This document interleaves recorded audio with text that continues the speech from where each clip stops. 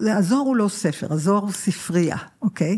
הזוהר הוא ספרייה שמספר סיפורים שונים על אישים שונים שמטיילים. הדבר המעניין בספר הזוהר, שהם כולם כל הזמן בתנועה, לא יושבים רגע, הם בדרכים, הם מטיילים, הם פוגשים אנשים, הם רואים בדרך חמרים, אנשים שעובדים עם חמורים.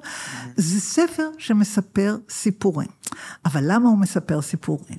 כדי להחביא כל מיני מסרים מאחורי הסיפורים. למשל, בספר שמות, הוא מספר לנו על הרעיון המשיחי. הזוהר הוא הספר הגדול שמחבר את הקבלה והמשיחיות.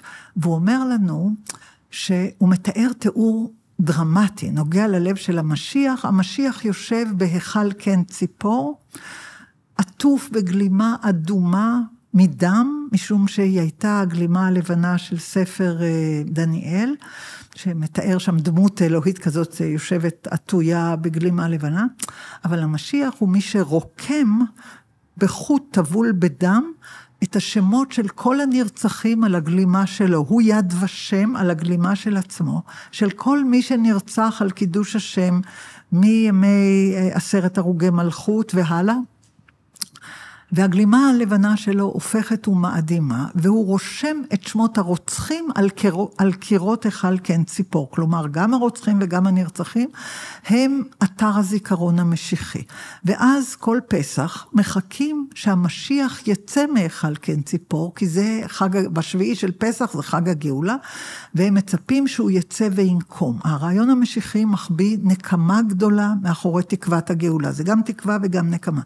נקמה ברוצחים, בגויים, רק באלה שרצחו יהודים על לא עוול בכפם, בעלילות דם, בפוגרומים, בהאשמות שווא, בעלילות לחם הקודש, בפרעות הגדולות של מסעי הצלב, פרעות חמלניצקי, כל דור מחדש עולה הרעיון המשיחי, כשההיסטוריה הופכת להיות אה, נואשת ובלתי נסבלת, והסיפור היסוד מתחיל מספר הזוהר. כלומר, מאחורי כל מיני סיפורים תמימים על מטיילים עם החמור ומדברים עם זקן כזה וזקן כזה, מסתתר מסר משיחי מאוד מאוד נוקב שאומר, אל תתייאשו, אנחנו בדרך. זה ייקח זמן, יש גלגול נשמות, הדורות יעברו מדור לדור. אני מבטיח לכם שהגאולה קרובה. זה ספר שנכתב כדי להעביר מסר, אל תתייאשו, והיה סיבה מאוד טובה להתייאש. אחרי מסעי הצלב שהתחילו בין 1096 ל-1296, אנחנו מדברים על תקופה ארוכה מאוד, שאלפי יהודים נרצחו, ומחבר ספר הזוהר שישב בספרד, היהודים שנרצחו היו בגבול צרפת גרמניה, באלזס לורן, באזורים האלה, שפיירה, וורמס, אה, עיירות שום, כן, אה, שפיירה, וורמייזה, מגנצה, מיינץ, וורמס היום. בעיירות האלה, בערים האלה, נרצחו אלפי יהודים ואחרים נטבלו בעל כורחם לנצרות. Mm. והזעם הנורא נוקז על ידי זה שהבטיחו את הנקמה מידי שמיים. בשביל זה נכתב ספר הזוהר, אבל בצורה מאוד חבויה כן, וסודית. אבל הנקמה ו... של המשיח, הנקמה כאילו... הנקמה המשיחית ו... היא לב העניין. וואלה. כן, כן. הרעיון המשיחי שכרוך בנקמה המשיחית, שוב, אני מדגישה, רק בפורעים וברוצחים, כן. לא בסתם אנשים. הנקמה ממוקדת כי ליהודים בימי הביניים לא היה שום בית משפט שיש בו דין צדק, שהם היו יכולים לשטוח את ה... לשטוח את הטרגדיה של אה, החיים שלהם, של האשימו אותם בדברים שהם לא עשו, האשימו אותם בעלילות דם, ברצח ילדים, בחילול לחם הקודש, בדברים שהם אף פעם לא עשו, כדי לגרש אותם, כדי לא להחזיר כספים למלווים היהודים, כדי לגזול את רכושם. לא היה אף בית דין בעולם שהם היו יכולים לשטוח לפניו את ה...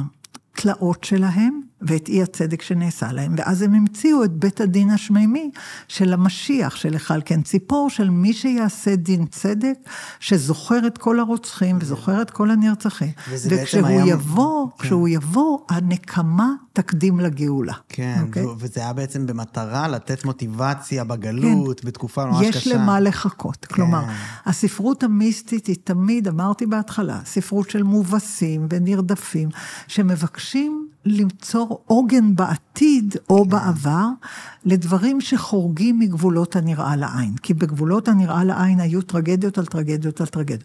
בספר שלי, ישראל בעל שם טוב ובני דורו, בכרך הראשון אני מספרת בהרחבה על הטרגדיות ההיסטוריות, עם פירוט מלא, מה קרה איפה ומתי. מאוד קשה לקרוא את זה, על עלילות הדם, על הרדיפות, על הפוגרומים, כדי להבין, אני מסבירה את הרקע לצמיחת הרעיון המשיחי. כן. זה לא משהו שאתה רואה אותו כסיפור נחמד או פנטזיה, לא, בכלל לא. זה מעומק הזוועה ואי הצדק והכאב. על זה מדובר. וואו, זה ממש אה, כן, מסביר. כן, כן. לכן אמרתי, אני לא בטוחה חשוב. שאנחנו רוצים להרחיב על ספר הזוהר, כי מדובר בטרגדיה. לא, לא, עכשיו, יש בספר הזוהר דברים נפלאים. הוא ספר נפלא, בגלל שהוא ביטא את חירות הפירוש. החירות האהובה על היהודים מהכל. תן לי פסוק, אני אדרוש אותו, אפרק אותו, כן. אמצא בו פרדה, אתה יודע, פשט רמז, דרש וזאת. כן. רק תן פסוק, אנחנו כבר נדבר כל היום וכל הלילה. הם לוקחים פסוקים, פסוקים מהמקרא, פסוקים מהמשנה, משפטים מהמשנה, ודנים בהם, ומפרקים אותם, ומספרים סיפורים, ויש להם אה, נקודת מוצא נורא יפה. תלמידה שלי לשעבר, דוקטור מלילה הלנר אשד, כתבה ספר נהדר שקוראים לו "ונהר יוצא מעדן". מה זה "ונהר יוצא מעדן מקדם"? זה לא נהר מנהר, זה פסוק כמובן, מנהרות גן עדן. אבל ספר הזוהר לא מדבר על נהר מים, הוא מדבר על נהרת אור שיוצאת מגן עדן. כל לילה, כשחברי החבורה יושבים ביחד ולומדים ומחברים את החיבור שקוראים לו ספר הזוהר. אתה מבין? זה החירות הפרשנית היוצרת, שהיהודים הצטיינו בה בצורה נפלאה, ואני חוזרת, לא הייתה להם כנסייה שאמרה להם מה כן. לקרוא ומה לכתוב.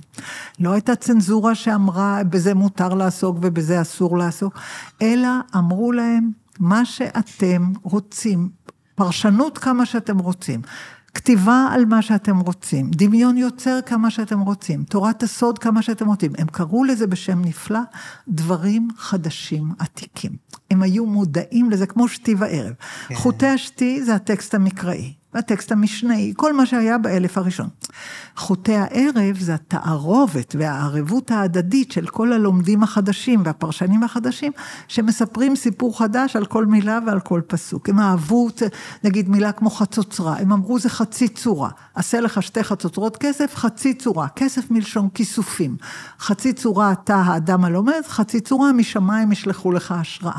הם שיחקו במילים, הם יצרו פרשנות נהדרת. הספרייה היהודית היא גן עדן למי שאוהב קריאה וכתיבה ויצירה ופרשנות ודרשנות. מדהים, כן. כן.